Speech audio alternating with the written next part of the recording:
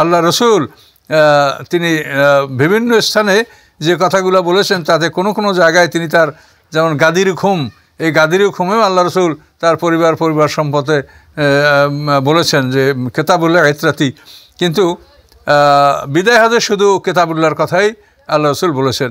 তো অনেক দুর্বল সূত্রে পাওয়া যায় যে আল্লাহ রসুল বিদায় হাজে বলছেন কেতাবুল্লাহ সুন্নাতি, কিন্তু এই কথাটা আমরা কোনো বিশুদ্ধ গ্রন্থে, হাদিস গ্রন্থে এই কথাটা আমরা পাচ্ছি না। শেয়াসত্তার মধ্যে কোথাও নাই যে বিদায় হজে। আর বিদায় হজ এমন একটা জিনিস যে আল্লাহ রসুলের জীবন এবং কোরআন, এটাকে বোঝাতে হলে বিদায় হজকে বাদ দিয়ে কখনোই ইসলামকে মানে ইসলামের পরিপূর্ণ একটা বিবরণ এটা দেওয়া সম্ভব না। এটা আপনারা নিশ্চিত করেই জানবেন যে বিদায় হজ অধ্যায়টা বাদ দিয়া ইসলামের পরিপূর্ণতা, দিনের পরিপূর্ণতা এবং রাসুলের জীবনের মানে পরিপূর্ণ একটা জীবনী এটা বিদেহাসকে বাদ দিয়া কখনোই সম্ভব না। কাজে এই বিদেহাস আল্লাহ রসুল করেছেন এক লাখ চল্লিশ হাজার অথবা ছ লক্ষ সাহাবিদের উপস্থিতি আরফাত ময়দানে তিনি বক্তব্য দিয়েছেন। এই বক্তব্যে আল্লাহ রসুল যে কথাটা বলেছেন, সেই কথা নিয়েও যদি আমরা মতভেদ করি, তো পৃথিবীতে আর কোন কথা নিয়ে আমরা মতভেদ করব না? তাহলে আমাদের অবস্থাটা কি হতে পারে এটা বলেন। সাধারণ মানুষ আপনারা বিবেচনা করেন। যেখানে আল্লাহ রসুল এক লক্ষ চল্লিশ হাজার সাহাবিদের মধ্যে কথা বললেন এবং সেখানে তিনি এটাই বলেছেন যে আমি আল্লাহর কিতাব রেখে গেলাম, যার জন্য শেয়াসাত্তা হাদিস, প্রত্যেকটা হাদিস গ্রন্থে বিদেহাজ উল্লেখ আছে। কোথাও বলা হয় নাই যে কিতাবের সাথে সুন্নাতের কথা বলা হয়েছে। তারপর রাসুল্লাহ সাল্লামের যেগুলো বিশুদ্ধ গ্রন্থ, তার জীবনী, সমস্ত জীবনীতেই বিদেহাজ আলোচনা ছাড়া কি রাসুলের জীবনী কমপ্লিট হতে পারে? সেই সব জায়গায় বিদেহাজের আল্লাহ রসুলের বিশুদ্ধ জীবনীগুলিতে যেটা মানে বিশ্বে এক নম্বর পুরস্কারপ্রাপ্ত আল্লাহ রসুলের জীবনী রাহিকুল মাকতুম। আপনারা দেখেন সেখানে, সেখানেও বলা হয়েছে যে বিদায় হাজে আল্লাহ রসুল শুধু আল্লাহর কেতাব, কোরআনের কথাই বলা বলেছেন। কাজে এখানে এই হাদিসের কথাটা যুক্ত করে যে বিভিন্ন খুচরা খাসরা কী গ্রন্থে উল্লেখ আছে সেগুলো আমরা জানি না। এগুলি দিয়ে যে একটা সমাজে বিভ্রান্তি সৃষ্টি করা হচ্ছে, তো এটার জন্য আমরা দুঃখিত। আমি বলব আলেমনমাদেরকে যে আপনারা দেখে শুনে কথা বলেন। আমি যেটা বলছি, এটা আপনারা দেখেন, শোনেন, বলেন। আপনারা শেয়াসার থেকে তন্ন তন্ন করে দেখেন, আপনারা মেশকাত দেখেন, আপনার রাহিকুল মাকুব দেখেন, তারপরে আল্লাহ রসুলের যতগুলি বিশুদ্ধ ইতিহাস আছে, মুফতি আমিমুল ইসলামে আমিমুল ইসলামের তারিকুল ইসলাম দেখেন, এই সব জায়গায় দেখবেন যে বিদায় হজে আল্লাহ রসুল কেতাবুল্লার কথা বলেছেন।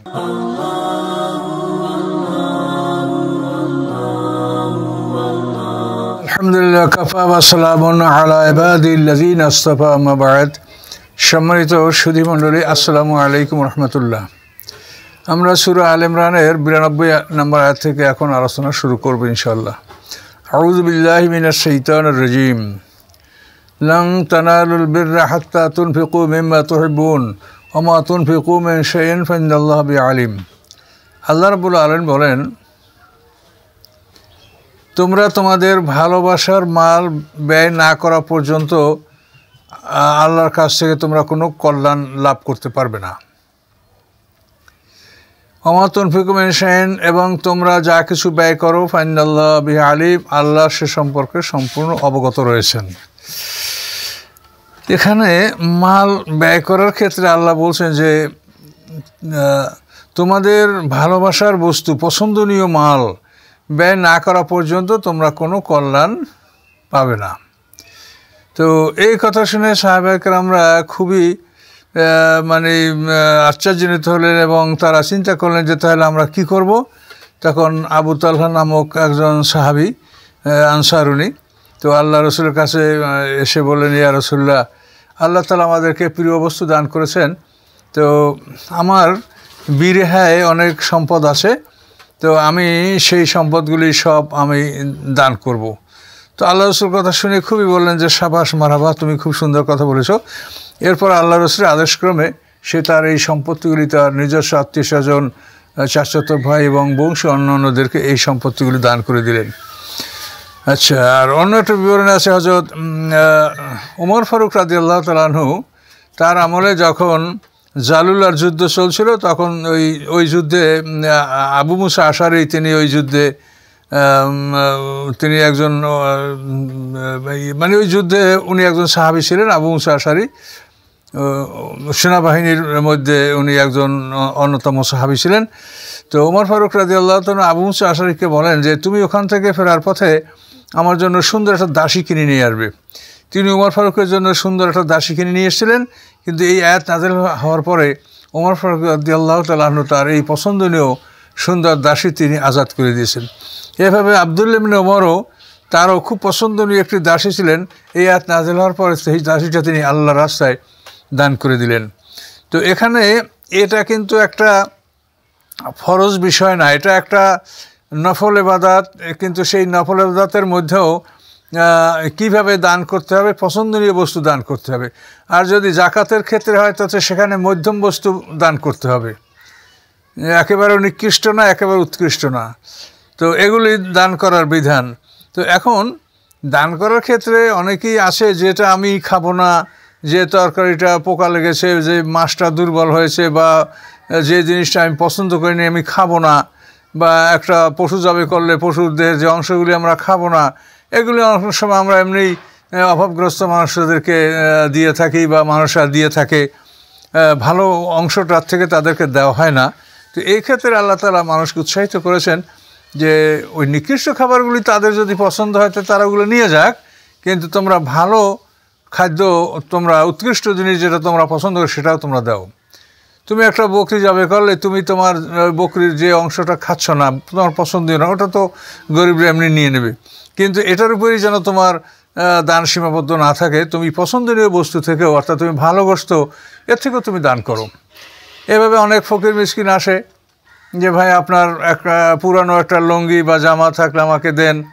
তো এখন এই পুরানো জামা, লঙ্গি আপনি যদি তাকে দেন, এতে যে সব হবে না, এটা বলা যাবে না। তার কারণ এতেও সব হবে, এটাই তার একটা মানে তার যে একটা প্রয়োজন মিটবে। তো এসব বস্তু দান করলেও সব হবে। আবার এসব বস্তু যে একেবারেই আমরা পছন্দ করি না, তাও নয়। মহিলাদের কাছে জিজ্ঞাসা করলে বলবে যে, না, ওই লঙ্গিটা দিয়ে কাঁথা শিলাবো তাহলে লঙ্গিটা অত প্রিয় হলো, তাহলে পুরান হলো। তাহলে এই ধরনের পুরানো বস্তু যেগুলিতে একজন অভাবগ্রস্ত মানুষের অভাব মুক্ত হয় অভাব দূর হয়, সেটা দান করলেও সব হবে। তবে আল্লাহ এখানে বলছেন, এটা ভালো বস্তু দান করলে বেশি সব হবে। এটা দানের জন্য উৎসাহিত আল্লাহ করেছেন। এই জন্য আমরা সব শ্রেণির মাল থেকেই দান করব। যদি পুরাতন কাপড় চোপড় দান করলে কেউ জরুরত পূরণ হয়, তাও করেন। আর যদি আপনার সম্ভব হয় তা ওর সাথে দুই একটা ভালো কাপড়ও নূতন কাপড়ও কিনে দেন। তাহলে আপনি আল্লাহর সব ধরনের হুকুমই আপনার পালন করা হলো। তো এভাবেই আল্লাহ তালা আমাদের পরকালে যাতে আমরা আমাদের ন্যাকামলটা ভারী হয়, আমাদের হিসাবে আমরা জিতে যেতে পারি, ন্যাকামল ভারী হলেই তো ইনশাল্লাহ আমরা বিনিহাতে বিনা হিসাবে জান্নাত পাবো। তো এগুলির জন্য আল্লাহ তালা আমাদেরকে বিভিন্ন পন্থা বাতলিয়ে দিয়েছেন। তো আল্লাহর এই কোনো কোনো আদেশগুলি ফরজ আবার কোনো কোনো আদেশগুলি সুন্নাত মোস্তাব নফল, এ ধরনের বিষয়েও আল্লাহ তালা কোরআনে আদেশ করেছেন। কাজে কোরআনে আল্লাহর আদেশগুলি, সমস্ত আদেশগুলি ফরজ নয়। কোনো কোনো আদেশ দ্বারা মোবাহ অর্থাৎ বৈধতা বোঝানো হয়। কোনো কোনো আদেশ আদেশ দ্বারা সুন্নাত মোস্তাব বোঝানো হয়। কাজে আল্লাহ তালা সব ধরনের আদেশই আমাদেরকে কোরআন পাকের মধ্যে দিয়েছেন। এটা আমরা লক্ষ্য করে সর্বদাই আমরা ন্যাকামল করার চেষ্টা করব। আল্লাহ বলেন আউজবিল্লাহিম কুল্লু তোয়ামে কান আহিল্লা বানি ইসরাইলা ইল্লা ইল্লা মা হার্রামা ইসরাইল আলা নফসিহি মেন কবলে আন্তুনাজ তাওরাত। কুল ফাতুবে তাওরাতে ফাতলুহা এনকুং তুম সদিকিন। আল্লাহ রাবুল আলম বলেন, বনি ইসরায়েলদের উপরে সব ধরনের খাদ্যই বৈধ ছিল। বরং উহা উহা ছাড়া যা ইসরায়েল তার নিজের উপরে হারাম করেছিল তরাত নাজেল হওয়ার পূর্বে। তো বনি ইসরায়েল বলতে বোঝা, বোঝানো হচ্ছে এসাক আলাহিসামের পুত্র ইয়াকুব আলাহিসাম ইয়াকুব আলাহিসামের বারো সন্তান, এই বারো সন্তানের বংশধরকে বনি ইসরায়েল বলা হয়। যেহেতু এসাক আলাহিসামের অপর নাম হলো ইসরায়েল আর তার সন্তানরা বনি বনি মানে সন্তান ইসরায়েলের সন্তানেরা। তো আল্লাহ তালা বলছেন যে বনি ইসরায়েলদের উপরে সব ধরনের হালাল, সব ধরনের বস্তু হালাল ছিল। অর্থাৎ হালাল বস্তুগুলি সবই বনি ইসরায়েলদের উপরে হালাল ছিল। তো তো এখানে আয়াতের সানে নজরুল আমরা শুনলেই বুঝতে পারব যে আবদুল্লামনে সানাম, উনি বনি ইসরায়েলদের বড় আলেম ছিলেন।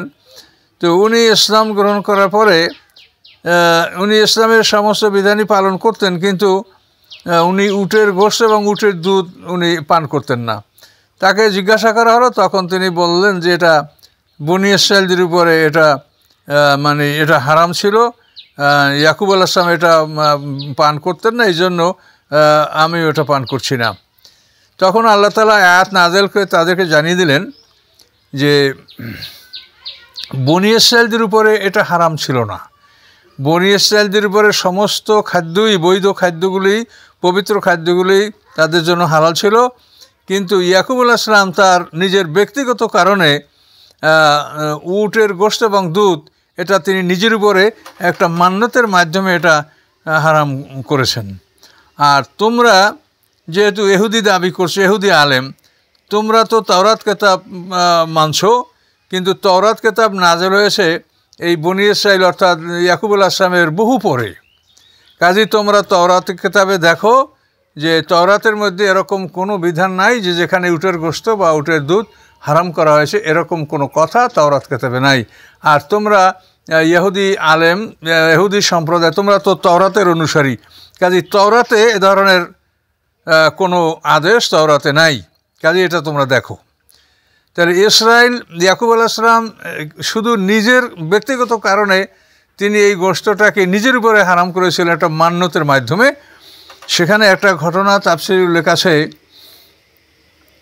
যে ইয়াকুব আলাহিসাল্লাম ওনার এই ঘটনাটার লম্বা ঘটনা। ইয়াকুব আলাহিসাল্লাম ওনারা হচ্ছেন এসাক আলাহিসামের পুত্র। ইব্রাহিম আলাহিসামের দ্বিতীয় সন্তান এসাক আলাহিসাম এসাক আলাহিসামের পুত্র হলো ইয়াকুব আলাহিসাল্লাম তো এই ইয়াকুব আলাহিসাল্লাম ওনরা, ওনার আর ভাই ছিল আয়েজ। এই আয়েজ আর ইয়াকুব এরা দুই যমজ ভাই।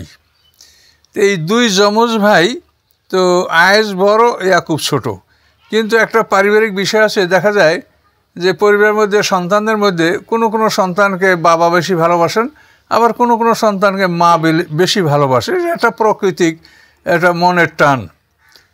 তো এভাবে ইসাক আল আসলামের দুই ছেলে, আয়েজ এবং ইয়াকুব, এরা জমজ ইয়াকুব মানেই মানে আকবুর মানে গোড়ালি।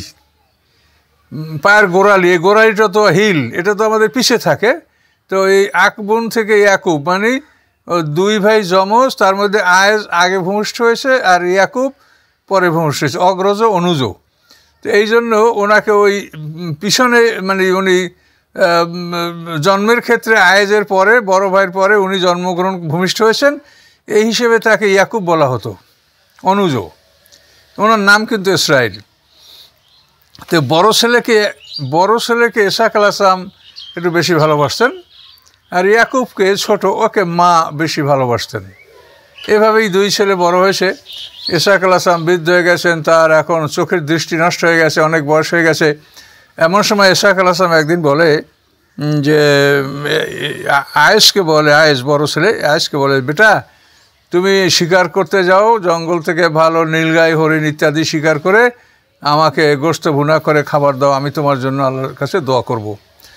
তো এই কথা শুনে মায়ের মনে একটা মানে প্রতিহিংসা জাগলো যে বড় ছেলের কথা বলল, ছোটো ছেলের কথা বলল না ওর বাবা তো উনি ছোটো ছেলে, ইয়াকুবকে ডেকে বললেন যে, তুই তোর পালের দুইটা বকরি জবা করে, তুই দ্রুতভাবে এই গোস্ত ভুনা করে তোর বাবাকে খেতে দিবি এবং তুই বাবার সামনে যখন যাবি, তখন তোর বড় ভাই আয়েজের জামা পরে যাবি। গায়ে হাত দিলে যেন সে অনুমান করতে পারে যে, এটা বড় ছেলে। তো এভাবে তুই তোর বাবাকে আগেই খানা খাওয়া, খাওয়াবি, তার থেকে দোয়া নিবি। তখন মায়ের পরামর্শে উনি ওই রকম খাদ্য পাক করে, বাবার কাছে খাদ্য নিয়ে, বাবা কে তুমি? আমি আপনার ছেলে। নেন, খাবার খান। খাবার টাবার খাইলো, ছেলের জন্য দোয়া করল। এই খাবারটা খাওয়া শেষ হওয়ার পরেই আবার আয়েস বাবার জন্য খাবার নিয়ে আসলো। তখন ইয়াকুব তখন ইসাক আসলাম বলেন, যে বাবারে, তুই আমাকে আগে খানা খাওয়ালি না? না বাবা, আমি তো আগে আসিনি। আমার যে, আমি যে খানা খেলাম, কে খাওয়ালো? তখন আয়েস বুঝতে পারছে যে এটা আমার মা আর ছোটো ভাই। আমার বাবাকে আগেই খানা খাওয়াইয়েছে। এবং বাবার সন্তুষ্টির দোয়া সে নিয়েছে, তো এটা আমার উপর একটা জুলুম করা হয়েছে। তখন আয়েস সে মানে সংকল্প করল যে আমার পিতামাতা যখন থাকবে না, তখন আমি ছোটো ভাই থেকে প্রতিশোধ আমি নেব। এইটা মা যখন জানতে পারলেন, তখন মা ভীত হয়ে গেলেন এবং মা ওই ইয়াকুবকে বলেন যে, বেটা, তুমি এ বাড়িতে থাইকো না। এখানে তোমার জন্য বিপদ মনে করছি। তুমি তোমার আহ, তোমার মামার বাড়িতে থাকবে। তো হারান শহরে সিরিয়ার হারানে তোমার মামা বাস করে। তুমি তোমার মামার বাড়ি যাবে এবং মামার বাড়ি গিয়া তুমি তোমার কোনো এক মামাতো বোনকে বিয়া করে সেখানেই তুমি থাকবে তুমি এখানে আসবে না। তো মায়ের পরামর্শে ইয়াকুবুল আসলাম ওইভাবে বাড়ি থেকে রওনা করে গেলেন। চলতে চলতে বহু পথ অগ্রসর হলেন। অগ্রসর হওয়ার পরে রাত হয়ে গেল গভীর রাতের পরে এখন ঘুম আসছে তখন কোনো এক জায়গায় তিনি মরুভূমিতেই শুয়ে পড়লেন, মাথার নিচে একটা পাথর দিয়া সেটাকে বালিশ বানিয়ে শুয়ে ঘুমিয়ে পড়লেন। রাতের বেলায় তিনি স্বপ্ন দেখেন যে এই পাথরের সাথে, আকাশের সাথে সিঁড়ি লাগানো এবং এই সিঁড়ি দিয়ে ফ্রেশ তারা ওঠানামা করছে। এবং কে যেন তাকে ডেকে বলছে যে, এইখানে তুমি আল্লাহর ঘর তৈরি করো। এই স্বপ্ন দেখে উনি জাগ্রত হলেন, কাউকে দেখতে পাচ্ছেন না। তখন তিনি এই পাথরটাকে চিহ্নিত করে রাখার জন্য ওই পাথরের তেল ঢেলে রাখলেন। পাথরের তেল ঢেলে রাখলে ওই তেলটা শুকায় না। বহু বছর পর্যন্ত ওই তেল থাকে পাথরের উপরে। তো এটা রেখে উনি ওভাবে চলে গেলেন। পরবর্তীতে এই জায়গাতেই বাইতুল মোকাদ্দাস ঘর উনি নির্মাণ করেছিলেন। আর এই ঘরের উপরেই, এই ঘরের সাথেই একটা আকাশের সাথে একটা সিঁড়ি আছে এবং এই ঘরের উপরে একটা পাথর স্থাপন করা হয়েছে। এই যে পাথরটা উনি ঘুমিয়েছে এইটা সখরা এই সখরা মানেই পাথর, আর এটাকেই সখরা পাথর বলা হয়। তো এখানেই এই পাথরটা বায়তুল মোকাদ্দাসের উপরে স্থাপন করা আছে এবং এই পাথরের সাথে আকাশের সাথে সিঁড়ি লাগানো এই সিঁড়ি থেকেই ফেরেশতারা আসমানে যায় এবং জমিনে আসে। এবং এই সিঁড়িটা বায়তুল মোকাদ্দাসেই। এবং এই বায়তুল মোকাদ্দাসের সাথেই আসমানের যাতায়াতের রাস্তা। এই জন্য আমাদের নবী যখন মেরাজ হয়েছে, তখন এই মেরাজটা মক্কা ঘর থেকে হয় নাই। কোরআন স্পষ্ট বলা যে ওনাকে বাইতুল মোকাদ্দাস নিয়ে আসা হয়েছে ওখান থেকে তার আসমানের সফর হয়েছে। তার কারণ এটা আর হলো আল্লাহর একটা নিয়ম। আল্লাহ ইচ্ছা করলে যা ইচ্ছা তাই করতে পারেন। কিন্তু এটা আল্লাহর সাধারণ নিয়ম যে বাইতুল মোকাদ্দাসের সাথে আকাশের সাথে সিঁড়ি লাগানো। এই জন্য আমাদের নবীকে আল্লাহ তালা মেরাজ রাতে ওনাকে মক্কা থেকে বাইতুল মোকাদ্দাস নিয়ে গেছে। এই সিঁড়ি ফেরেশতারা এই সিঁড়ি বেয়ে আকাশে ওঠে।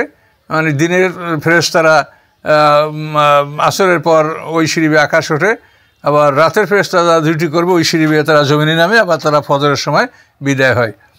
তো এই সিঁড়ির পরিচয়টা বা এইখানে যে আল্লাহর ঘর করতে হবে এই বিষয়টা আল্লাহ তালা ইয়াকুবুল আসলামকে অবহিত করলেন। ইয়াকুবুল আসলাম তার মামা মারা গেল, সে প্রথমে তার বড় বোন মামাতো বোন লাইয়াকে বিয়া করল, তারপরে সে দ্বিতীয় বোন রাহিলকেও বিয়া করল। এইভাবে তার হতে হতে বারোটা সন্তান যখন হলো এবং ওদিকে বাড়িতেও আর সমস্যা থাকল না। তখন উনি আল্লাহর কাছে মানত করলেন যে, আল্লাহ, আমি যদি নিরাপদে আমি বাড়ি ফিরতে পারি, তাহলে আমার এই সন্তানদের মধ্য থেকে আমি একটা সন্তান কোরবানি করব এবং তাফসির উল্লেখার জন্য ছোট সন্তানের কথাই নিয়ত করেছিলেন।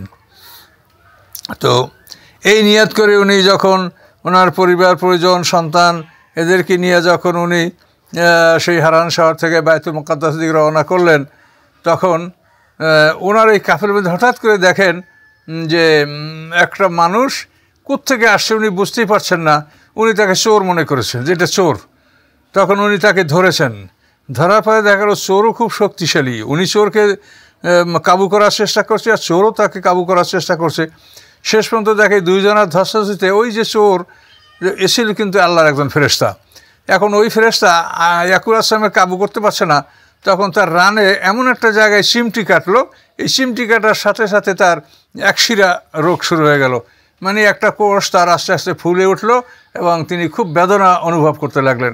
এই করে দেওয়ার পরে এখন ওই চোর, ও দেখা একবারে আস্তে উপরের দিকে উঠে যাচ্ছে মানে শূন্যে উড়ে চলে যাচ্ছে। তখন একবার আসলাম বললেন, বুঝতে সক্ষম হলেন যে এই আল্লাহর ফেরেস্তা এই চোর নয়। এভাবে ওই ফেরেস্তার মাধ্যমে একবুল আসলামকে আল্লাহ তালা অসুস্থ করে দিলেন। এর কারণে আল্লাহ তালা তাকে যে সন্তান যে কোরবানি করবে, এই বিষয়টা থেকে আল্লাহ তাকে মুক্ত করে দিলেন। আল মোমেন ওই যে আকসামা আবার আল্লাহ তালা আল্লাহ রসুল বলেছেন যে, মোমেন যখন কসম করে, আল্লাহ তালা তখন তাকে কসম থেকে মুক্ত করে দেন। তখন উনি কসম করেছিলেন যে, আমি সুস্থ অবস্থায় বাড়ি ফিরতে পারলে একটা সন্তান কোরবানি করব। এই জন্য আল্লাহ তাকে অসুস্থ করে দিলেন, যাতে যাতে ওই সন্তান কোরবানি করতে তার না হয়। তো এই অসুস্থতার জন্য ইয়াকুবুল আসসালাম আল্লাহর কাছে মানত করছিলেন যে, আল্লাহ, আমার এই রোগ যদি আপনি ভালো করে দেন, তাহলে আমি উটের গোস্ত আমার সবচেয়ে প্রিয় খাদ্য, উটের দুধ প্রিয় খাদ্য, আমি প্রিয় খাদ্য বর্জন করব। তো এই কারণে ইয়াকুব আলাহিসাম নিজের উপরে এই খাদ্যটা একটা মান্যতের মাধ্যমে সে বর্জন করেছিলেন। এটা শরিয়াত সম্মত না যে শরিয়াতে আইন যে সবাই এটা খাবে না, এটা নয়। এই কথাটা আল্লাহ বলে দিলেন কুল্লুত্ত আমে কানা হেল্লালে বানি ইসরায়েল ইল্লামা হার্রামা ইসরায়েল আল্লাহ রাফসিহি বনি ইসরায়েলদের সব খানাই বৈধ ছিল, কিন্তু ইসরায়েল বা ইয়াকুব সে নিজে তার নিজের উপরে যেটা তিনি হারাম করেছেন সেটা তার ব্যক্তিগত ব্যাপার এবং আরও বিষয়টা হলো যে এটা তওরাতের আগে। তোমরা মুসারাসুম্মা তোমরা তো তরাত কেতাবকে মানবে তারাতের পিছনে কী ছিল সেটা তো তোমাদের মানার আদেশ না। যে যুগে যে কেতাব আসে সেই যুগের মানুষের জন্য সেই কেতাব মানতে হবে। কাজেই তোমরা তওরাতের অনুসারী, তোমাদের সময়ে তোমাদের সময়কালে তোমাদের পিরিয়ডে তওরাত আসছে কাজেই তোমরা আহ, তওরাত কেতাব মানো এবং তওরাতে এরকম কথা কোথাও বলা নাই যে উটের গোস্ত খাওয়া যাবে না। তো এই কথাটা আল্লাহ তালা ওদেরকে বলে দিলেন যে না তরাতে এরকম কোনো কথা নাই এবং ইসরায়েলও এটা ব্যক্তিগতভাবে নিজের জন্য হারাম করেছেন। এটা তার সম্প্রদায়ের উপরেও এটা হারাম ছিল না। ইব্রাহিম আলাহামের ধর্ম ইব্রাহিম আলাহামের মিল্লাত, এটা আমাদের মানা ফরজ, কাজে ইব্রাহিম আলাহামের ধর্মে মিল্লাত, এগুলি সব বৈধ ছিল। আল্লাহ বলেন ফামান ইফতার আল্লাহ কাজাবেম বাজা আলিকা এরপরেও যদি কেউ আল্লাহর উপরে মিথ্যা রচনা করে, তাহলে ফাউলাই খুমজ জালেমুন তারা জালেমদের অন্তর্ভুক্ত হবে। মানে এই কথাটা স্পষ্ট বলে দেওয়ার পরেও যদি কেউ ইফতার ইফতার মানে মিথ্যা রচনা করা। মানে তরাত কেতাবে আসে যদি বলা হয় তো আল্লাহর উপরে মিথ্যা রচনা করা হবে। তার কারণ তরাত কেতাব তো আল্লাহর দেওয়া কেতাব। এই জন্য বলছেন যে এই কথাগুলি স্পষ্ট করে দেওয়ার পরেও যদি কেউ মিথ্যা রচনা করে, কেউ বলে যে তওরাতে এই কথা আছে যে বনি ইসরায়েলদের উপরে উটের গ্রস্ত হারাম। তাহলে কিন্তু এটা আল্লাহর উপরে মিথ্যা রচনা করা হবে। কাজে এটা যেন কেউ করে না, এটা করলে সে জালেমদের অন্তর্ভুক্ত হবে। কুল আউজবিল্লাহ কুল, আপনি বলুন, সদকাল্লাহ, আল্লাহ সত্য বলেন। আল্লাহ সত্য ছাড়া কখনোই বলেন না। ফাত্তাবু মিল্লাত ইব্রাহিমা তোমরা ইব্রাহিম আসলামের মিল্লাত, তার দিন ও শরিয়াত, তার জীবন বিধানকে তোমরা অনুকরণ করো। আমা কান আমার মুশ্রিকিন, তিনি মুশ্রিক ছিলেন না। তিনি ছিলেন খাঁটি মুসলমান, বিশুদ্ধ মত অবলম্বনকারী, হানিফা শব্দ এত বিশুদ্ধ, আবার হানিফা শব্দ এত ইনকুইজিটিভ ইব্রাহিম আসলাম বিশুদ্ধ, খাঁটি, অনুসন্ধানকারী মুসলমান ছিলেন। তিনি মোশেকদের অন্তর্ভুক্ত ছিলেন না, তার কারণ এহুদিরাও মোশেক খ্রিস্টানরাও মোশেক এহুদিরা বলে ওজার আসলাম আল্লাহর পুত্র, এজন্য তারা মোশেক। আবার খ্রিস্টানরা বলে, ঈসা আসলাম আল্লাহর পুত্র, এজন্য খ্রিস্টানরা মোশেক। এই জন্য আল্লাহ বলেন এহুদি খ্রিস্টান, উভয় দল মোশেক, কিন্তু ইব্রাহিম আসলাম মোশেক ছিলেন না। তিনি এই ধরনের আকিদা পোষণ করতেন না। এখানে এই কথা সমাপ্ত করে আল্লাহ অন্য কথা বলছেন। আউজবিল্লাহমিন সৈতন রাজিম। ইন্না আউলা বায়তম ওয়াদে আল্লাহ নাস আল্লাদি বিবাক্কাতা মোবারকাম হুদাল্লাহ আলমিন। নিশ্চয়ই প্রথম ঘর মানুষের জন্য যে ঘর স্থাপন করা হয়েছে পৃথিবীতে, সেই ঘর হচ্ছে বাক্কা। মাকা মাবারাকান এই সেই ঘর হচ্ছে বরকতময় এবং সমস্ত সৃষ্টিকুলের জন্য পথ নির্দেশ। অর্থাৎ পৃথিবীর সমস্ত মানুষ ওই ঘরের দিকে ফিরেই নামাজ পড়বে। এটা সমস্ত মানে মিল্লাতের জন্য ঐক্যের একটা নিশানা। এই কাবাঘর এই জন্য হুদাল্লা আলমিন বলা হয়েছে, সমস্ত মাকলুকাত সমস্ত সৃষ্টি আল্লাহর ওই ঘরের দিকে মুখ করে সবাই নামাজ পড়বে। এবং সবাই সেখানে হজ করতে যাবে। সবার জন্য সেখানে সমান অধিকার। এখন এই আউলা বায়ের এটা আল্লাহ নাজেল করলেন কেন? ইহুদিরা বলতো যে, দেখো, আমাদের নবী তোমাদের আগে সিনিয়র নবী। আমাদের কেবলা বায়তুল মুগাস তোমাদের পূর্বের কেবলা। কাজেই আমরা হকের উপরে আসি আমরা সঠিক পথে আসি তোমরা আমাদের অনুকরণ করো। তখন আল্লাহ তাদেরকে বলে দিলেন যে, না, তোমাদের ঘর এটা প্রাচীনতম ঘর নয় এবং প্রথম ঘর নয়। প্রথম ঘর হচ্ছে পৃথিবীতে যে ঘর স্থাপন করেছে হলো কেবলা। পৃথিবীর প্রথম ঘর হচ্ছে কাবা, কেবলা। তো এই ঘরকে স্থাপন করে বিবাক্কা বিবাক্কা মানে বাক্কাতে। এর অর্থ হচ্ছে, তাফসির কারকা বলেন যে কাবাঘর এবং মসজিদে হারাম যে অঞ্চল, এই অঞ্চলটাকে বাক্কা বলা হয় এবং পুরো মক্কা শহরকে মক্কা বলা হয়। এ হলো এক তাফসির। অন্য তাফসিরে বলা হয় যে আরবি ভাষায় বা এবং মিম, এটা একটার পরিবর্তে অন্যটা ব্যবহার হয়। ওই মক্কার জায়গায় বাক্কা, বাক্কার জায়গায় মক্কা, অর্থাৎ বে এবং মিমকে তারা একের মানে পরিবর্তন করে তারা ব্যবহার করে, এটা প্রচলন আছে। এই জন্য কখনও তারা বাক্কা বলেছেন, আবার কখনো এটাকে মক্কা বলেছেন। তো সময় যে সম্মানিত সুদীতে বাক্কা এবং মক্কা, বিয়ের জায়গায় মিম ব্যবহার করা, মিমের জায়গায় বা ব্যবহার করা, এটা আরবি ভাষার এটা প্রচলন, এই হিসেবে এটা বলা হয়েছে। অথবা মাক্কা হচ্ছে পুরা শহরের নাম, আর যেখানে কাবাঘর এবং যেখানে মানে মসজিদে হারাম, এই জায়গাটু বাক্কা। আচ্ছা তো বাক্কার আর এক শব্দ আছে, বাক্কা হচ্ছে লেয়ান্না, তাবুক্কু, রাসাল জবাবেরাতে অর্থাৎ, এই ঘরের কাছে কেউ যদি অসৎ উদ্দেশ্যে অগ্রসর হয়, আল্লাহ তালা তার মাথা গুঁড়া গুঁড়া করে দেবেন। তো তাহলে বাক্কার শব্দ অর্থ মানে আঘাত করা, মাথা গুঁড়া গুঁড়া করা। তো এই জন্য কাবাগরকে বাক্কা বলা হয়েছে যে এই ঘরের কাছে অন্যায় করার জন্য কেউ আসলে তার মাথা ঘুরে ঘুরে করে দেওয়া হবে। যেমন আবরাহাকে ধ্বংস করা হয়েছিল, এভাবে কাবাঘরের কাছে খারাপ উদ্দেশ্যে কেউ আসলে কেউ রক্ষা পাবে না। এই জন্য একে বাক্কা বলা হয়। তাহলে মাক্কা, বাক্কা। তা মক্কা শব্দের আরেকটা অর্থ তাফসিরকা বলেছেন মক্কা মানে পানির অভাব। এই শহরে পানির অভাব ছিল, এই জন্য এই শহরকে মক্কা হিসেবে নামকরণ করা হয়েছিল। তো আবার এই গৃহকে কাবা বলা হয়েছে। এসব এক্ষেত্রে তাফসির কাকরা বলেন, কাবা শব্দের অর্থ চৌকুর, অর্থাৎ চতুর্ভুজ। এই মানে চার চারকোনা বিশিষ্ট ঘর, এই জন্য একে কাবা বলা হয়েছে। তো যাই হোক, আল্লাহ তালা এই ঘরকে ঘোষণা করেছেন যে এই ঘর পৃথিবীর সর্বপ্রথম ঘর। এই ঘরকে ফেরেশতারা আদম আসলামকে পৃথিবীতে মানে আদম আসলামকে সৃষ্টি করার দু হাজার বছর আগে আল্লাহ তালা পৃথিবীকে এই ঘর স্থাপন করেন। এবং এর তাফসিরে বলা হয়েছে যে, যেহেতু আদম সৃষ্টির ব্যাপারে ফেরেশতারা দ্বিমত পোষণ করেছিল, পরে আল্লাহ তালা আদম সৃষ্টি করলেন, তখন ফেরেশতারা আল্লাহর কাছে ক্ষমা চাইলেন যে, আদম সৃষ্টির ব্যাপারে আমরা যে মতবিরোধ করেছি, এটা আমাদের ভুল হয়েছে, আপনি ক্ষমা করে দেন। তখন আল্লাহ বললেন যে, ক্ষমা করব, কিন্তু তোমরা তোমাদের ভুলের জন্য তোমাদের কেবলা বায়তুল মামুর যেটা সাত্তবক আসমানের উপরে, সেখানে তোমরা তফ করে আল্লাহর কাছে ক্ষমা চাও। কিন্তু আমার আদম যদি কোনো অপরাধ করে, তো সে তো বাইতুল মামুর আসতে পারবে না। কাজে ওই বাইতুল মামুর ফেরেস্তাদের কেবলা সপ্ত আকাশের উপরে, আল্লাহ বলেন, ওই কেবলার ছায়া পৃথিবীতে যেখানে পড়ে, সেই ছায়া বরাবর তোমরা আমার আদমের জন্য কাবাঘর নির্মাণ করো।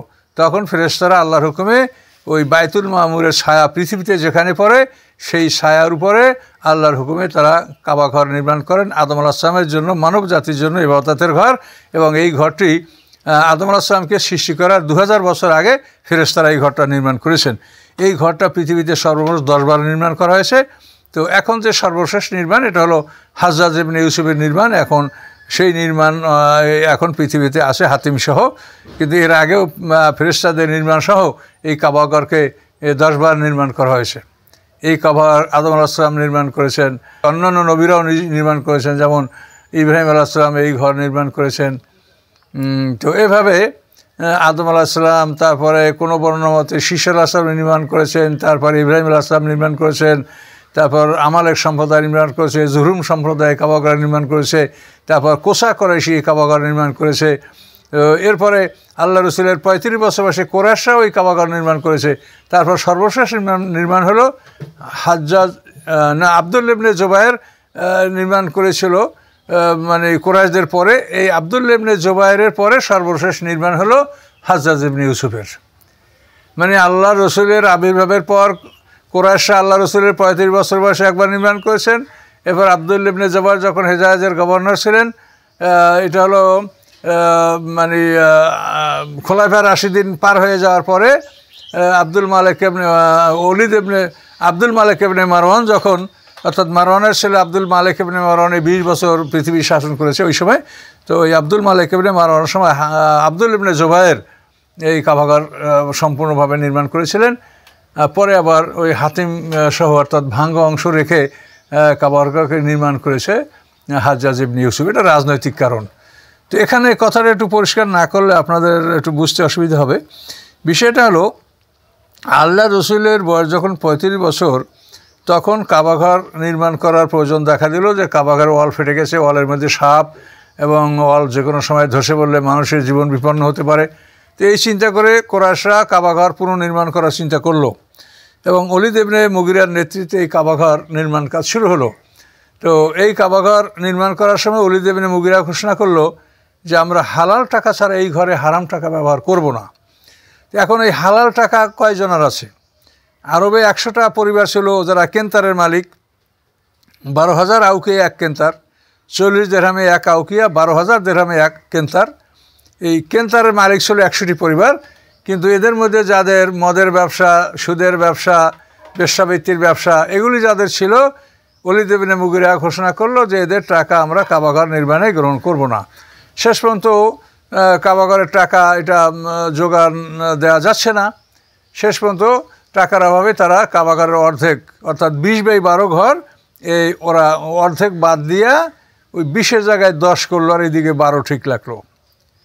দৈর্ঘ্যে বিশ, তার থেকে ওরা রাখল দশ আর প্রস্থ বারো, এটা ঠিক রাখল। তো এই অর্ধেক ভাঙ্গা অংশ ওরা ছেড়ে দিল। এইটা আল্লাহ রসুলের পঁয়ত্রিশ বছর বয়সে এই কাবাঘর নির্মাণ করা হয়েছিল। এখানে অনেক আরও কাহিনী আছে, সেটা যথাসময় আপনারা শুনবেন।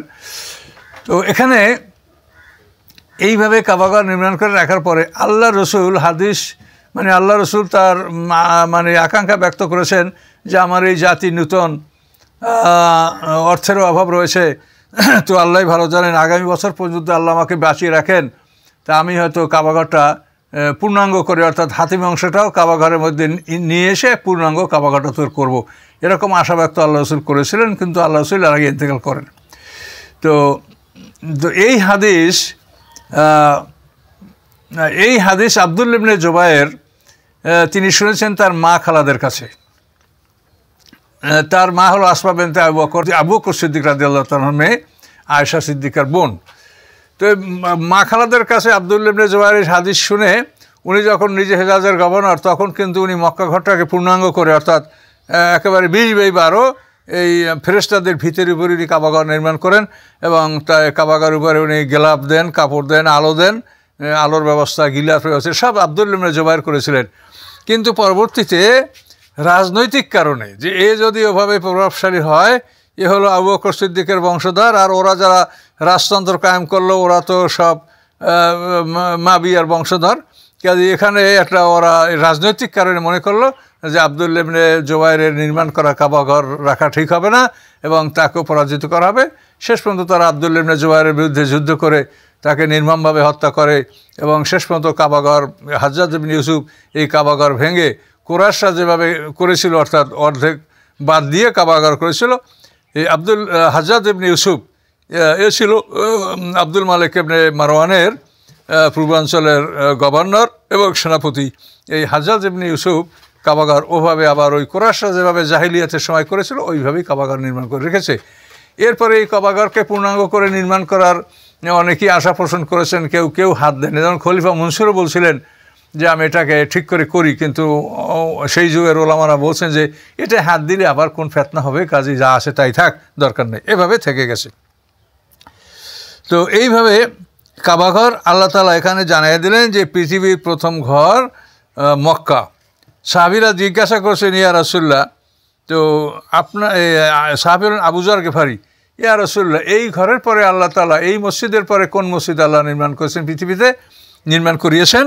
তো বলছেন যে বাইতুল মাকদাস এর মধ্যে ব্যবধান কত ছিল? চল্লিশ বছর। এবং এই হাদিসের মাধ্যমে এটা প্রমাণিত হয় যে বাইতুল মাকদাস মসজিদও আল্লাহ আল্লাহ তার আদেশে নির্মাণ করেছেন এবং ফেরেস্তারা নির্মাণ করেছেন। আল্লাহ ভালো জানেন। আল্লাহ বলেন ফি হে আয়াতুম বাইনাত আউজবিল্লাহ ফি হে আয়াতুম বাইনাত ওই মসজিদের মধ্যে রয়েছে কতগুলি উজ্জ্বল প্রমাণ। যেমন, মাকাম ইব্রাহিম মাকাম ইব্রাহিম হলো ইব্রাহিম আসলাম যে পাথরে দাঁড়িয়ে কাবাগার নির্মাণ করেছিলেন এবং সেই পাথরের মধ্যে ইব্রাহিম আসলাম দুটি পা এমনভাবে দেবে গেছে যে তার পদচিহ্ন এখনও সেখানে বিদ্যমান রয়েছে এবং মাকাম ইব্রাহিম কাবাঘরের উত্তর পূর্ব পাশে একটা মানে গ্লাস দিয়ে একটা গ্লাসের এই ফ্রেম করে তার মধ্যে এই পাথরটা আবদ্ধ করে রাখা হয়েছে মাকাম ইব্রাহিম এবং তফ করার পরে ওখানে দুরগাত নামাজ পড়া ওয়াজিব। এই আল্লাহ বলেন যে সেখানে উজ্জ্বল প্রমাণ উজ্জ্বল প্রমাণ একটা হলো মাকাম ইব্রাহিম। অমান দেখালেও কানা আমে না এবং ওই ঘরে যে প্রবেশ করবে সে নিরাপত্তা পাবে। মানে ওই ঘরে চোর, ডাকাত বা কোনো ব্যক্তি ঢুকলে ওখানে তাকে আক্রমণ করা যাবে না, পাকড়াও করা যাবে না। তাকে বের করার জন্য তার খাদ্য পানি বন্ধ করে দেওয়া হবে, যার ফলে সে ওখান থেকে বের হতে বাধ্য হয়। ওখানে ঢুকলে সে নিরাপত্তা হবে সে মানুষ হোক, কোনো জীব জানোয়ার হোক পশু পাখি হোক, ও কাউকে ওখান থেকে তাড়ানো যাবে না, মা হত্যা করা যাবে না। হ্যাঁ যদি ওর ভিতরে কেউ অন্যায় করে, তাকে সেখানে পাকড়াও করা যাবে। অলিল্লা আল্লাহ নাসে হেজ্জুল বাইতে মনাশ্চতা এলেহি সাবিলা। আর আল্লাহর উদ্দেশ্যে মানুষের উপরে আল্লাহ হস ফরজ করেছেন, যারা পথের সামর্থ্য রাখে। অর্থাৎ আল্লাহর উদ্দেশ্যে, বাইতুল্লাহর উদ্দেশ্যে আল্লাহ হস ফরজ করছেন মানুষের উপরে, যারা পথের সামর্থ্য রাখে। অর্থাৎ পথের সামর্থ্য বলতে বোঝানো হয়েছে যে সে সফর করে মক্কা যাবে এবং মক্কা থেকে ফিরে আসবে, এই যাতায়াতের খরচ তার আছে। এবং এই সময় তার উপরে যে আহালো আয়াল, পরিবার পরিবার যারা আছে, তাদের খাদ্য খাদক যা ভরণ পোষণ যেটা দেওয়ার দায়িত্ব, এই ভরণ পোষণ এটাও তিনি দিয়ে যেতে পারছেন। তো এতটুকু যদি সামর্থ্য থাকে, তো এদের জন্য আল্লাহ তালা হজ ফরজ করছেন, হজ ফরজ করছেন। হজ ফরজ হওয়ার জন্য সে মুসলিম হবে জ্ঞান সম্পন্ন হবে বালেক হবে, এবং সে স্বাধীন হবে, এবং পথের ক্ষমতা, অর্থাৎ পথ অতিক্রম করার ক্ষমতা তার থাকবে। এই কয়টা শর্ত সাপেক্ষে তার উপরে হজ ফরজ। অমান কাফারা এবং যে অস্বীকার করবে, ফাইনাল্লাহ গানিউন আনেলা আলমিন, আল্লাহ তালা তার মাকলুকাত থেকে তিনি অমুখাফিক্ষি তিনি মাকলুকাতের মুখাফিক্ষি নয়। তারা হজ করল না, এই জন্য আল্লাহর কোনো ক্ষতি হবে এমন নয়, এটা আল্লাহ জানিয়ে দিলেন। যদি তোমরা করো, তোমাদেরই কল্যাণ হবে। তাহলে মানুষ তাতা এলেই সাবিলা পথের সামর্থ্য। এখন এখানে সে যদি নিজে যেতে পারে তো নিজে যাবে। আর নিজে যদি যাইতে না পারে তাহলে অন্য কাউকে টাকা দিয়ে পাঠাবে। এটাও মানেস্তাতা সাবিলার মধ্যে দুটো বিষয় আসে। অর্থাৎ সে এই পথের সামর্থ্য রাখে। এখন নিজে হোক অথবা অপরের মাধ্যমে হোক যে কোনোভাবে যদি পথের সামর্থ্য রাখে, তাহলে তার জন্য আল্লাহ তালা হজ ফরজ করেছেন। আল্লাহ রসুল একটা হাদিস আছে। আল্লাহ রসুল একটা গাদার উপরে সওয়ার, তার পিছে আল্লাহ রসুলের চাচাতো ভাই ওনার নাম হলো আব্দুল কসম বিন আব্বাস। কসম বিন আব্বাস আল্লাহ রসুলের চাচাতো ভাই, আল্লাহ রসুলের পিছে গাধার উপরে। তেন এক মহিলা এসে জিজ্ঞাসা, ইয়া রসুল্লাহ আমার আব্বা অসুস্থ, তার ধন সম্পদ আছে, আমি কি তার উদ্দেশ্যে ধস করব? এই মহিলা যখন কথা করতে আসে, এই মহিলা তো যে আল্লাহ রসুলের পিছে কসম বেন আব্বাস বসা তার দিকে সে তাকিয়েছে। এবং কসম বেন আব্বাসও তার দিকে তাকিয়েছে। এইটা দেখে আল্লাহ রসুল কসম বেন আব্বাসকে, ভাই, তুমি এদিকে ঘুরে বসাও মুখ ফিরাও। তখন কসম বেন আব্বাসকে আল্লাহ রসুল মুখ ফিরাতে বলেন উনি মুখ মুখ ফিরিয়ে অন্যদিকে ফিরে বসলেন। এরপর ওই মহিলাকে আল্লাহ রসুল বলেছেন হ্যাঁ তুমি তোমার বাবার পক্ষ থেকে হজ করো। তো এর থেকে মানেস্তাতা এলাহি সাবিলা বলতে দুটো জিনিসই বোঝায়। যে সে নিজে যদি যাইতে পারে তাও যাবে, আর যদি নিজে অন্যকে পাঠাতে পারে তাও সে পাঠাবে। এভাবে হজ, যাদের উপরে ফরজ, তারা হজ আদায় করবে। আল্লাহ রসুল বলছেন, হজ ফরজ হওয়ার পরে যারা হজ আদায় করে না, তারা কীভাবে মরলো, মোমেন না কাফের নেহুদি না খ্রিস্টান? আল্লাহ রসুল বলেন যে, আমি তার দিকে নজর করব না। সে কী অবস্থায় মারা গেল, আমি তার জন্য সাফাত করব না। কাজে এই জন্য হজ ফরজ হয়ে গেলে আপনারা অবশ্যই যথাশীঘ্র হজ পালন করার জন্য আপনারা চেষ্টা করবেন। তো এখানে হজের বিষয়টা মোটামুটি আমরা সংক্ষিপ্ত আকারে আলোচনা করছি। এটা সুরে বাকারে তো আরও ব্যাপকভাবে এটা পার হয়েছে। তো এখানে আর যে কথাগুলো আছে, ফি আয়াতুন বাইনাত এই আয়াতুন বাইনাতের মধ্যে আমরা প্রথমে আমরা মাকাম ইব্রাহিমের কথা আলোচনা করলাম যে ইব্রাহিম আলাহামের পদচিহ্ন অঙ্কিত করা পাথর। ইব্রাহিম আলাহাম যখন কাবাঘরের ওয়ালটা এতখানি নির্মাণ করেছেন যে এখন আর উনি নাগালে পাচ্ছেন না। তখন ইসমাইল আসলামকে বললেন যে, বাবা, আমার আমাকে একটু উঁচু জায়গায় দাঁড়াবার ব্যবস্থা করে দাও। তখন ইসমাইল আসলাম একটা পাথর নিয়ে এসে বলেন যে, বাবা এটাই দাঁড়ান। তো ওই পাথরটা ইব্রাহিম আসলাম দাঁড়ালে এবং ওই পাথরটা তাকে উপরে, নিচে উঠাতো, লিফটের মতো। ইব্রাহিম আসলাম আদেশে ওই পাথরটা তাকে যতখানি উপরে উঠানো প্রয়োজন, উপরে উঠাতো, আবার নিচে নামাতো। আর এই পাথরে ইব্রাহিমের আসলাম দুটো পদচিহ্ন একেবারে সম্পূর্ণ এমনভাবে গিরা পর্যন্ত মানে পায়ের মধ্যে ঢুকে গেছে যেটা এখনও বিদ্যমান রয়েছে, আপনারা দেখতে পারেন। এটা হলো মাকাম ইব্রাহিম। এরপরে দুই নম্বর হলো হাজারে আসোয়াত, কালো পাথর। তো নুয়াল আসলামের প্লাবনের সময় এই কাবাগর যখন বিধ্বস্ত হয়েছিল তখন এই কাবাঘরে যে হাজারে আসোয়াত ছিল কাবাঘরের দক্ষিণ পূর্ব কর্ণে কর্নারে কর্নে কোণে যে হাজারে আসোয়াত স্থাপন করা ছিল এই পাথরকে জিবরিলাবিন আবু কোয়েস পাহাড়ে আমানত রেখেছিলেন।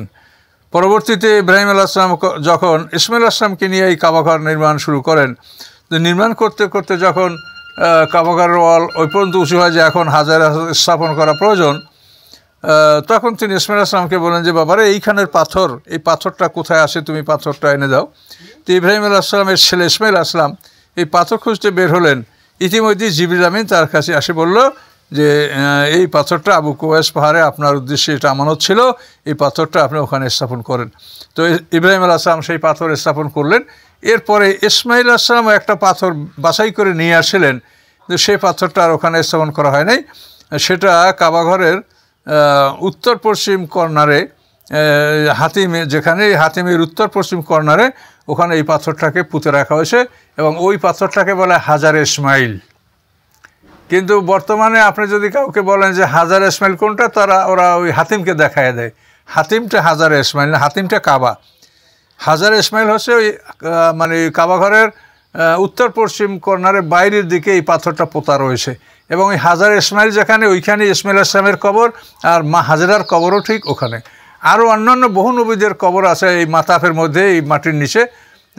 যেহেতু বহু নবী রসুলগণ উম্মতের অত্যাচারে, জুলুমে মনোকষ্টে কাবাগরের কাছে হিজরত করে এখানে ইন্তেকাল করেছেন। এই জন্য এই অঞ্চলে বহু নবী রসুলদের কবর রয়েছে। তো এটা হলো হাজারে আসাদ। এই পাথর সম্পর্কে আরও ইতিহাস পাওয়া যায়। তারিকুল খামিস যে কথাটা উল্লেখ করেছেন, যে আদম হওয়া যখন জান্নাতে অবস্থান করতেছিলেন, তো তাদের দেখভাল করার জন্য একজন ফেরেস্তা নিয়োগ করা হয়েছিল। সেই ফেরেস্তা কীভাবেই তার সময়টা পার হয়েছে যে শয়তান তার অলক্ষেই আদম হওয়াকে বিপদগামী করল। এবং তারা নিষিদ্ধ বিরকের ফল ভক্ষণ করল। তাদেরকে পৃথিবীতে আসার জন্য আদেশ দেওয়া হলো, শয়তানকেও ওখান থেকে বহিষ্কার করা হলো। এরপরে আল্লাহ তালা ওই যে ফেরেস্তাকে আদম হওয়ার দেখভালের জন্য মনোনয়ন করেছিলেন, নিযুক্ত করেছিলেন, সেই ফেরেস্তাকে জিজ্ঞাসা করল যে, তুমি কি করেছ যে আমার আদম হওয়া বিপদগামী হলো? ফেরেস্তা বলে ইয়া আল্লাহ, আমি চিন্তাই করতে পারি না এই যে আপনার এই নিষিদ্ধ এলাকায় শয়তান প্রবেশ করতে পারবে। এই জন্য তো আমি নিরাপদেই আপনার এবাদাতে মগ্ন ছিলাম। ও পাহারার ব্যাপারটা আমি অত গুরুত্ব দেই নেই। তখন আল্লাহ বলেন যে, তোমার গাফলাতির কারণে আদম হওয়া নিষিদ্ধ বৃক্ষের ফল ভক্ষণ করল এবং এই উশিলায় তারা দুনিয়ায় যাবে, তাদের সন্তানরা অপরাধ করবে। তোমার দায়িত্ব হবে সন্তানদের, আদম সন্তানদের গুণা শুষে নেওয়া। কাজেই আল্লাহ তালা ওই ফ্রেশটাকে মানে পাথর বানিয়ে দিলেন এবং ওই ফ্রেশটা ছিল দুধের মতো সাদা পাথর, কিন্তু ওকে কাবাঘরের কনে স্থাপন করার পর যুগে যুগে শতাব্দীর থেকে শতাব্দীতে মানুষের গুণা চুষতে চুষতে ওই পাথরটা কালো হয়ে গেছে। এই জন্য শেষ পর্যন্ত এখন তার নাম রাখা হয়েছে হাজারে আসাদ বা কালো পাথর। এই একটা বর্ণনা আছে। এইগুলি ঐতিহাসিক বর্ণনা এইগুলো নিয়ে আমরা বেশি মাথা ঘামাবো না। এটা ঐতিহাসিক বর্ণনা, এটা আল্লাহই ভালো জানেন যে আর কতখানি সত্য কিন্তু এগুলি মোটামুটি কথাগুলি যুক্তিসঙ্গত এবং কোরআনের কোনো খেলাপ মনে হচ্ছে না। এই হিসেবে আমরা এগুলো বর্ণনা করছি। কিন্তু এগুলি সম্পর্কে আমরা কোরআনের কোনো দলিল আমরা দিতে পারছি না। তারিল তারিকুল খামিস একশো তিন পৃষ্ঠে এই বর্ণনাটা আছে যেটা আমি বললাম। এরপরে হাতিম, এটাও মানে কাবাঘরের অর্থাৎ আপনি যদি আমি কাবাঘরের সামনে বাবে কাবায় দাঁড়ান, তো ডান দিকের যে অংশটা উত্তর দিকের, এটা হলো বিশ, দশ বাই বারো ভাঙ্গা অংশ, যেটা আমি বললাম যে হাজাজ এমনি ইউসুফ তার নির্মাণের সময় এটা এভাবে সে করেছে। তো এটা হলো হাতিম। এই হাতিমও কাবাঘরের অন্তর্ভুক্ত। মানে হাতিমের দিক ফিরে নামাজ পড়লেও নামাজ আদায় হবে, কাবাঘরের দিকে ফিরলেও নামাজ আদায় করা হবে। এই হাতিম কাবাঘরেরই অংশ। তো এরপরে ওখানে আরও আয়াতুম বাইনাত বলতে ওখানে জমজম কূপ এই কাবাঘরের দক্ষিণ পূর্ব কর্ণে জমজম কূপ এটা আপনারা এ সম্বন্ধে শুনেছেন যে এই কূপ মা হাজরা যখন পানির জন্য ছাপা মারা পাহাড়ে দূরাচ্ছিলেন ইসমাইল আসলাম কাঁদতেছিলেন, তখনই জিবরিল আমি সেখানে এসে টায়ের পায়ের আঙ্গুল দ্বারা মাটি, পাথর ফাটিয়ে দিয়ে সেখানে একটা পানির ঝর্ণা প্রবাহিত করেন। মাহাজারা সেই পানির ঝর্ণাটাকে পাথর দিয়ে আবদ্ধ করে রাখেন। এইটি এই ঝর্ণা এবং এইটাই জমজম কূপ এবং এটা এমন একটা কূপ যে সারা পৃথিবীর মানুষ যদি এই জমজম কূপের পানি পান করে, তো কোনো দিন এই জমজম কূপের পানি শেষ হবে না। এই জমজম কূপটাকে এখন মাতাফের মধ্যে, অর্থাৎ তফের জায়গার মধ্যে মাটির নিচেই পড়ে আসে এটাকে উপর থেকে দেখা যায় না। তারপরও রোকনে ইয়ামানি, এই রোকনে ইয়ামানি হলো কাবাঘরের দক্ষিণ পশ্চিম কর্নারটাকে রুকনি ইয়ামানি বলা হয়। এখানে বসে ইব্রাহিম আলাইসলাম আর ইসমাইল আসলাম কাবাঘর নির্মাণ করার পরে আল্লাহর কাছে দোয়া করেছিলেন। এবং ইসমাইল আসলামের বংশ থেকে নবী আসার জন্য যে দোয়া বাবা আসফিহিম রাসুল আমিনুম ওয়াই জিয়ার ফব ইব্রাহিমুল কাওয়ায়দা মেনাল বাইত ইসমাইল রব্বানা তাকাব্বাল মিন্না ইন্না কান্তাস সামিউল আলিম। এই দোয়া থেকে শেষ পর্যন্ত দোয়াগুলি ইব্রাহিম আসলাম ইসমাইল আসলামকে নিয়ে এই রোকনে ইয়ামানি অর্থাৎ ইয়ামান, ইয়ামানের দিকে যে মানে রোকনটা কাবাগরের দক্ষিণ পশ্চিম কোণ, ওইখানে দাঁড়িয়ে তিনি এই দোয়া করেছিলেন এবং আল্লাহ তালা তার দোয়া কবুল করেছেন। সেই দোয়া কবুল হওয়ার ফলেই ইব্রাহিম আসলামের সাড়ে তিন হাজার বছর পরে আল্লাহ তালা ইসমাইল আসলাম বংশ থেকে আমাদের নবী মোহাম্মদ সাল্লাহামকে পাঠিয়েছেন। এই রোকনে ইয়ামানিকে চুম্বন করা ও মোস্তাহাব। কাজী এটাও একটা আয়াতেম বাইনাত উজ্জ্বল প্রমাণের মধ্যে। আর এরপরে আছে মিজাবের রহমত। অর্থাৎ কাবাঘরের যে স্বাদ, এই স্বাদের উত্তর দিক থেকে পানি পড়ার জন্য যে একটা নর্দমা করা আছে, একটা পানি নিচের দিকে পানি পড়ার জন্য যে একটা নর্দমা করা আছে, এটাকে বলা হয় মিজাবের রহমত। কাবাগার উপর থেকেই রহমতের পানি হাতিমে পড়ছে। তো এটাকে মিজাবের রহমত বলা হয়। তো এগুলি সব মানে আয়াতে বাইয়েরা উজ্জ্বল প্রমাণ। তো এটা আল্লাহ তালা বলছেন যে ওখানে অনেকগুলি উজ্জ্বল প্রমাণ রয়েছে। এই উজ্জ্বল প্রমাণগুলি তোমরা সেখানে দেখো। এবং সেখান থেকে তোমরা কল্যাণ লাভ করো। এই কাবাঘরে জামাতে নামাজ পড়লে এক রাখাতে এক লক্ষ রাখাতে সব পাওয়া যাবে। তো এই জন্য আল্লাহ তালা এই কথাগুলি বললেন, যাতে আমরা ইমান আনতে পারি এবং আমরা কাবাঘরের গুরুত্ব অনুধাবন করতে পারি এবং আমরা কাবার উদ্দেশ্যে হজের জন্য আমরা রওনা করতে পারি। এই বিষয়গুলি ত্বরান্বিত করার জন্যই আল্লাহ তালা আমাদেরকে এই কথাগুলি বলেছেন। আউজবিল্লাহমিনা শহীদুল কুল, হে রাসুল, আপনি বলুন, ইয়া হালাল কেতাব এলেমা তাকফুরুনা বেয়াতিল্লাহ। হে আহলে কেতাব, হে কেতাবধারীগণ, হে ইহুদি খ্রিস্টানের আলেগণ তোমরা আল্লাহর আয়াতগুলিকে কেন অস্বীকার করছ? আল্লাহ শাহিদুন আলা মা তামালুন। তোমরা যা করছ, তোমাদের কর্ম সম্পর্কে আল্লাহ তালা সব কিছুই তিনি প্রত্যক্ষদর্শী, তোমাদের কর্ম তিনি দেখছেন, অবলোকন করছেন। কাজেই তোমরা কেন আল্লাহর এই নিদর্শনগুলি, যেগুলি এই কোরআনে উল্লেখ করা হলো এই সম্মানিত নিদর্শনগুলি তোমরা কেন অনুসরণ করছ? ইব্রাহিম আলাহিসাম তোমাদেরও জাতির পিতা, সকল মানুষের জাতির পিতা ইব্রাহিম আলাহিসাম কাজে কেন তোমরা অনুকরণ করছ না? এজন্য আল্লাহ তালা আহলে খেতাবদেরকে সতর্ক করছেন। তিনি আরও বলছেন, আল্লাহ তালা আরও বলছেন আউজবিল্লাহমিনা শাহিদান রাজিম। হে রাসুল, আপনি বলেন ইয়া আল্লাহ কেতাব, লিমা তাসদ্দুন আনসাবিল্লা তোমরা কেন মানুষদেরকে আল্লাহর পথ থেকে ফিরে রাখছো? মানা আমানা, যারা ইমান আনে তোমরা তাদেরকে আল্লাহর পথ থেকে ফিরে রাখছো। তাবগুন এওয়াজা এবং তোমরা আল্লাহর পথের বিপরীত পথ তোমরা অনুসন্ধান করছ। অন্তুম সোহাদা অথচ তোমরাই সাক্ষী যে আল্লাহর পথ এই একই পথ রাত আল মোস্তাকিম। কাজে এই পথকে বাদ দিয়ে তোমরা অন্য পথ অনুসন্ধান করছ। কাজে এটা তোমাদের জন্য মহা অপরাধ। অমল্লবে গফিল আহমদ আমালুন আল্লাহ তালা তোমাদের আমল সম্পর্কে গাফেল নন, অমনোযোগী নন। তোমার, তোমাদের আমল সম্পর্কে আল্লাহ তালা সম্পূর্ণ অবহিত আছেন। তিনি তোমাদের আমলগুলি এবং অন্য সকার আমলগুলি, অন্য সবাই আমলগুলি তিনি ইন্ডা কুন্না নাস্তান সুকুম আকুন তুম তা আমলুন আল্লাহ বলেন যে, তোমরা যে আমল করতে, এটা আমি সব লিখিয়ে রেখেছি। আমরা লিখিয়ে এটা রেকর্ড আমি নিয়েছি। কাজে লিখিত রেকর্ড আমাদের আমলের আছে। কাজেই আহলে কেতাবদেরকে আল্লাহ তালা মানে মানে সমালোচনা করেছেন যে, তোমরা সব কিছু জেনে, শুনে এই বিষয়গুলি তোমাদের জানা, চেনা সবই। এরপরেও তোমরা কেন নিজেরাও ফিরে থাকো আল্লাহর পথ থেকে? আর মোমেনদেরকেও তোমরা আল্লাহর পথ থেকে ফিরাতে চাও। এটা তোমরা কেন করো? কাজে এজন্য তোমরা সতর্ক হও, এজন্য তোমাদেরকে কঠিন শাস্তির সম্মুখীন হতে হবে।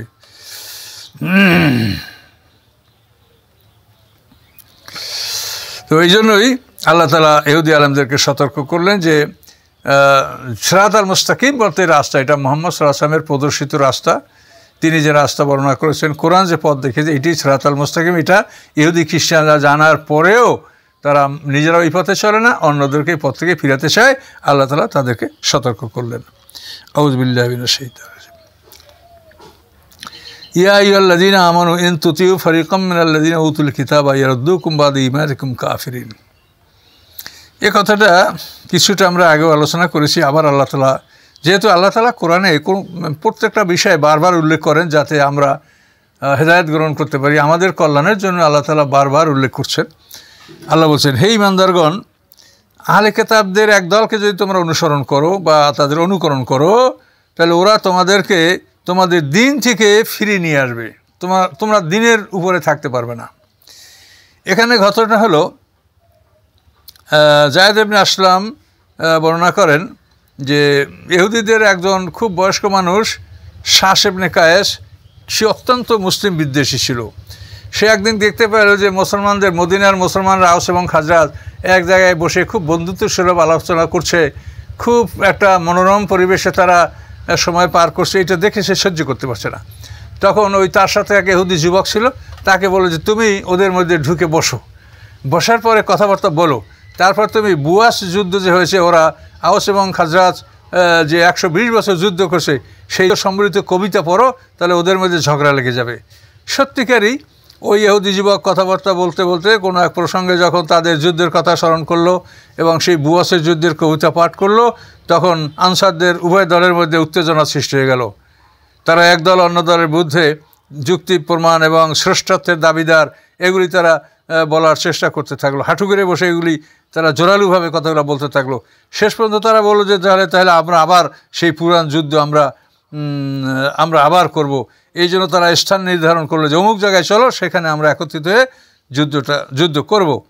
এই তাদের মধ্যে প্রস্তুতি চলছিল এর মধ্যে আল্লাহ রসুলের কাছে খবর গেল যে, আনসার মহাজিদের মধ্যে এই ঘটনা ঘটছে। তো আল্লাহ রসুল খুব দ্রুতই মহাজিদদের এক দলকে নিয়ে তাদের মধ্যে হাজির হলেন এবং বললেন যে তোমাদের কি হয়েছে বলো, আমি এখনও তোমাদের মধ্যে আসি এ মতো অবস্থায় তোমরা কি দিন দিন থেকে ফিরে জাহেরিয়াতের দিকে চলে যাবে? তোমরা কার কথা শুনছো? তোমাদের শয়তান আশ্বাস দিয়েছে, তোমরা কি করছ? তখন সবাই মানে ভুল ভেঙে গেল, শয়তানও দূর হয়ে গেল, শয়তান উড়ে গেল। আল্লাহ রসুল হাজির হলেন, শয়তান উড়ে গেল আর ওদের ভুল বোঝাবুঝি তারা বুঝতে পারল। তখন একে অপরের গলা মোয়ানেকা করে মশাদারা করে মানে গলায় গলা মিলিয়ে তারা কাঁদতে লাগলেন এবং বলতে লাগলেন যে, আমরা তো সত্যিই ভুলের মধ্যে আবার চলে যাচ্ছিলাম। তো আল্লাহ তালা সেই কথা বললেন যে, ইহুদিদের অনুকরণ করলে ওরা তোমাদেরকে দিন থেকে ফিরিয়ে নেবে, আবার ওরা তোমাদেরকে জাহিলিয়াতের দিক ফিরিয়ে নেবে।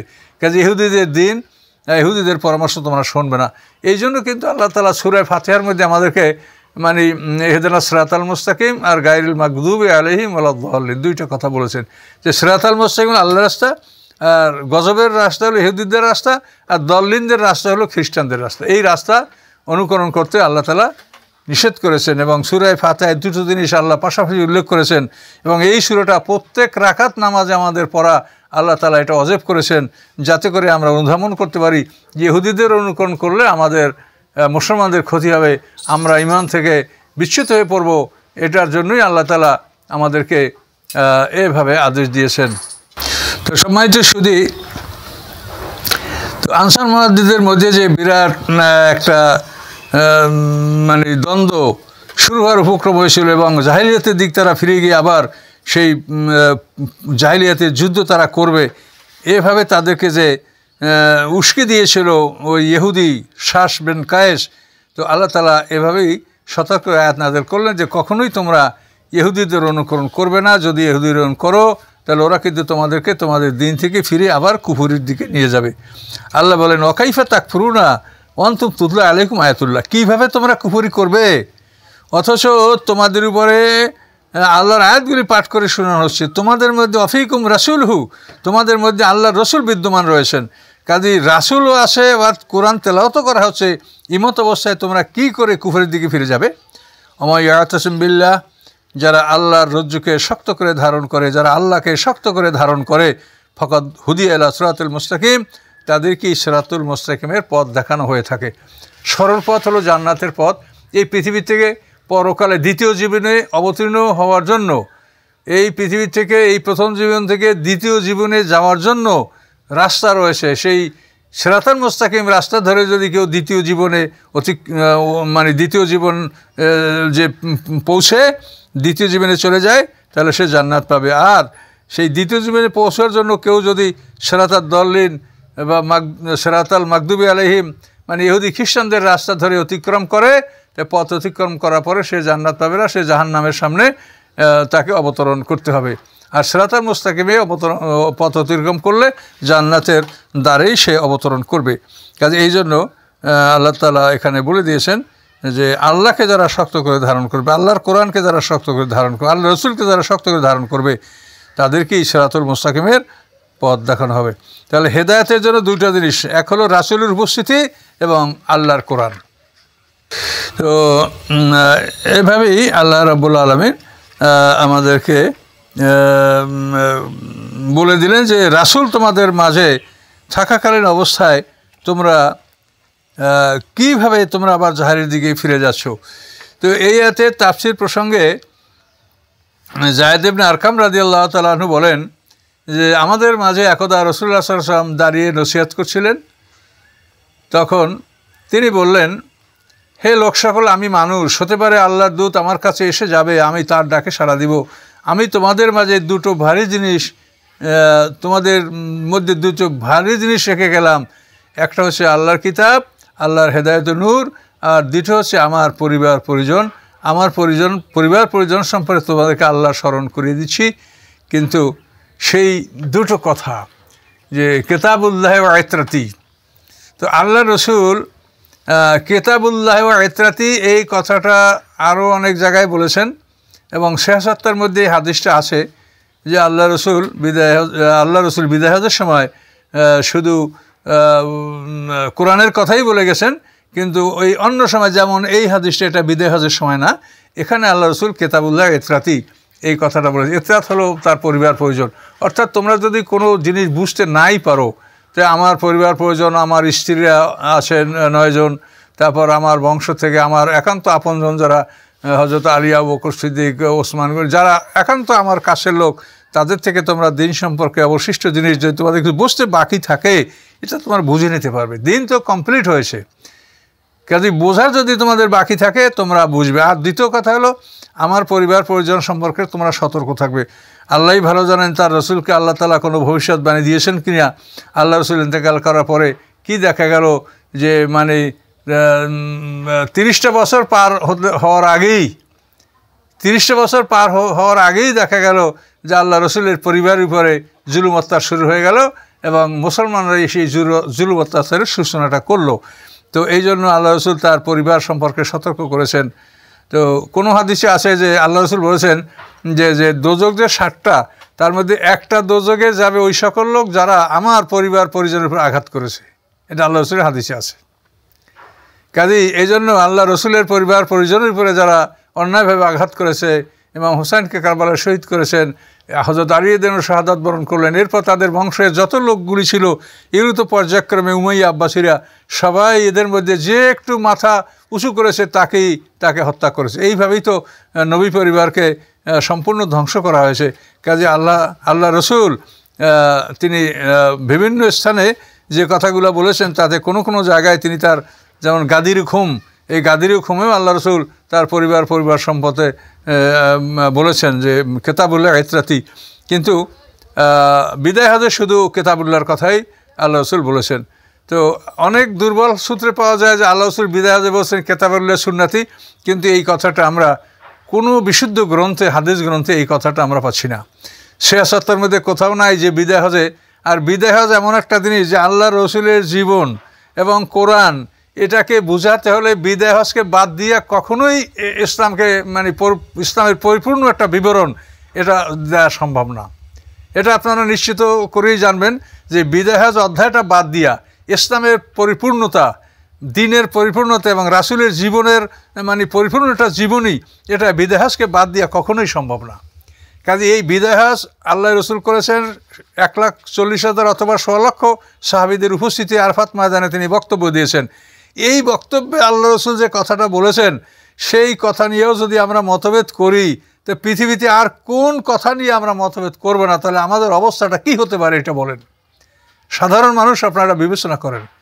যেখানে আল্লাহ রসুল এক লক্ষ চল্লিশ হাজার সাহাবিদের মধ্যে কথা বললেন এবং সেখানে তিনি এটাই বলেছেন যে আমি আল্লাহর কিতাব রেখে গেলাম, যার জন্য শেয়াসাত্তা হাদিস, প্রত্যেকটা হাদিস গ্রন্থে বিদেহাজ উল্লেখ আছে। কোথাও বলা হয় নাই যে কিতাবের সাথে সুন্নাতের কথা বলা হয়েছে। তারপর রাসুল্লাহ সাল্লামের যেগুলো বিশুদ্ধ গ্রন্থ, তার জীবনী, সমস্ত জীবনীতেই বিদেহজ আলোচনা ছাড়া কি রাসুলের জীবনী কমপ্লিট হতে পারে?